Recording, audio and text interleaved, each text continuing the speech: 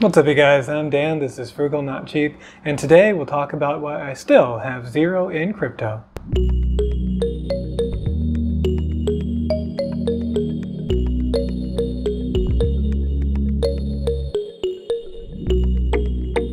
So I've done a few videos about crypto or cryptocurrencies in the past, but the recent collapse of FTX, a cryptocurrency exchange, makes it a good time for us to talk about this topic. If you're not very familiar with cryptocurrencies and how they work, I suggest taking a look at my Bitcoin video. This will give you kind of the basics about Bitcoin and cryptocurrencies in general, and it goes into quite a bit of depth. Some of the main points that I make in that video are that Proof of work systems like Bitcoin have a real scalability problem, something that Ethereum has recently addressed as I understand it. Also huge efficiency problem there in terms of uh, energy and compute. Then I point out that a lot of the features that we would uh, like to have in terms of a currency uh, either don't exist in Bitcoin or already exist in the current banking system. Sure, we could uh, stand to reduce uh, a lot of fees and, and, costs within the system and uh, also improve upon it, but it is really already digital. But perhaps the biggest point out of that video is the question, where does value come from? And so we take a deep dive into it, but um, at the end of the day, uh, Bitcoin really is only worth what people are willing to buy and sell it for. And it has no intrinsic value, nothing that uh, gives it a value on its own just sitting there. And so that's why I shy away from crypto assets. There was, however, I thought some hope for cryptocurrencies to really become uh, usable and mainstream, and that was Facebook's effort to launch the Libra, later called Diem cryptocurrency. So where was the value going to come from here? Well, that's because these were going to be tied to a basket of real currencies that are actually in use around the world to buy and sell goods and services. Unfortunately, regulars were really not keen on this idea, especially because of the uh, massive possible adoption given Facebook, WhatsApp, Instagram, etc.'s gigantic user base, and so this never came to fruition. Since that time, I've continued to look out and see if there's anything interesting developing in the crypto space, something that I I believe actually could be usable for us on a daily basis. And so far, I haven't seen anything, although I do have hopes to see um, what uh, Elon Musk has planned for the new Twitter. He has talked about how he will kind of uh, implement his old plan for X.com with Twitter, so we'll see what that's going to look like. I'm not sure. So, in this landscape where I really just don't see that there's anything good out there, why is there so much money in crypto? Why are all these people investing in crypto? And I put that in quotes because I really do think that uh, it's not investing. Here we are really just speculating. And so what I think is people just uh, like to gamble. people like to make money. And there's a kind of a mania, a sort of, um, you know, Keynes talked about the animal spirits really, I think it really is just sort of this, um, it's a popular thing to try to make money off of right now. Not everyone really understands markets or economy or finance all that well. And it's been really made easy for, for people to get involved in this uh, that don't have that kind of sophistication.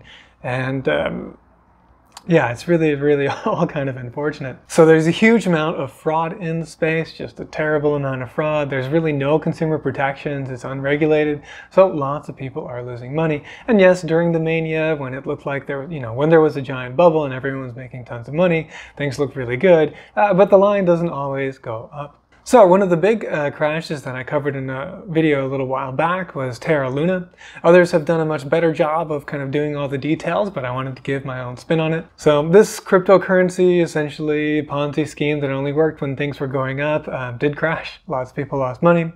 And consequently, a, a hedge fund sort of called Three Arrows Capital. They were a good currency hedge fund, then they got into crypto, and this became their downfall. Um, they were heavily uh, connected to Terra Luna, and that became their downfall as well.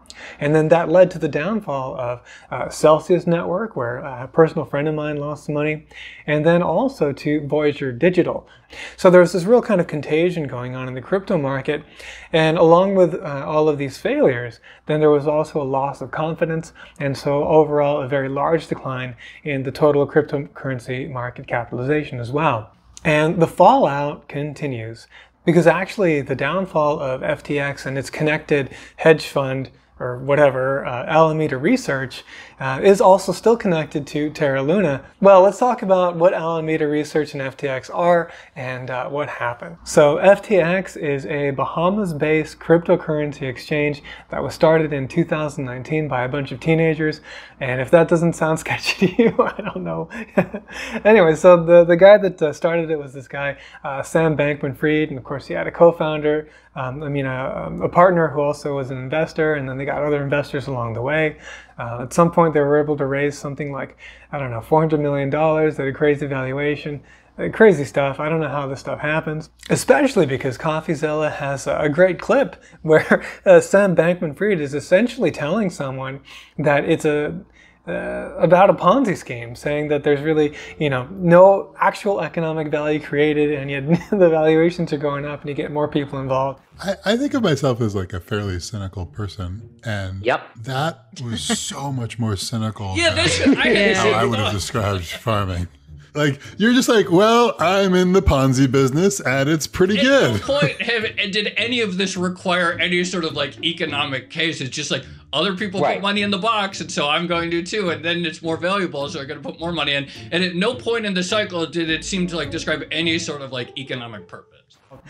Uh, yeah, yeah, pretty pretty bad, pretty bad. So this guy, you know, not not super trustworthy, and uh, turns out there's, you know, that that turns out to be an accurate view. But at their peak, this uh, FTX crypto exchange was the third largest cryptocurrency exchange. It had over a million users, and as of January of this year, 2022, the firm was valued at 32 billion dollars. And then they were very closely connected with Alameda Research, this fund, which actually turns out that Sam Bankman-Fried's girlfriend was the, the CEO of that one. So that's not a good look. Anyway, so the whole thing goes goes bust, right? Uh, they end up filing for bankruptcy. They got this guy John Ray III to kind of come up and uh, come in and clean the mess, and he actually has some experience in these matters because uh, he oversaw the liquidation of Enron.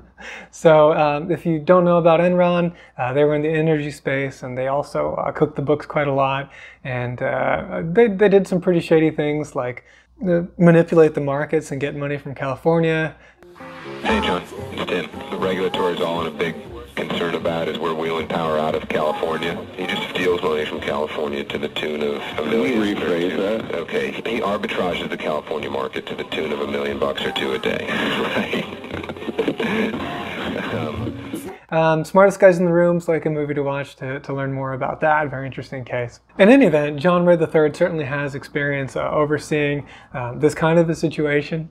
And he came in, he said in the court filing that he's never seen such a complete failure of corporate controls and a complete lack of trustworthy financial data. In other words, they were just doing whatever and they weren't keeping track of anything very well. And we just, yeah, it's just a, a complete uh, complete utter mess, uh, which you might imagine for a Bahamas-based 2019 founded uh, cryptocurrency exchange created by a bunch of teenagers.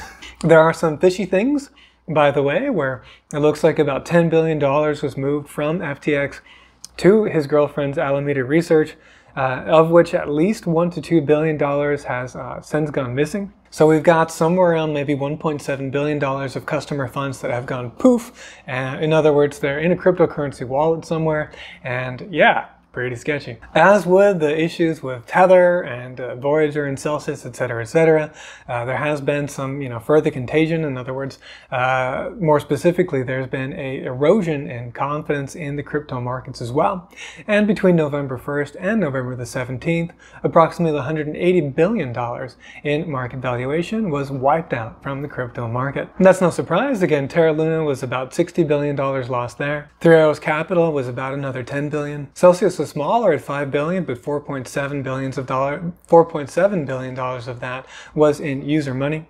And here in FTX, we have at least one point, we have approximately 1.7 billion dollars of customer money. Oh, and then we had Voyager as well, another 6 billion. So yeah, hopefully uh, you can see based on this history uh, that probably regulation is required in this space. People are just getting hurt too much, and there's just way too much fraud and deception. Not a good place to be, even if there might be, you know, a few projects here and there that uh, are sound in, in ways that all these fraudulent schemes are not. But then at the end of the day, still, I look across the landscape and I say, where's the value?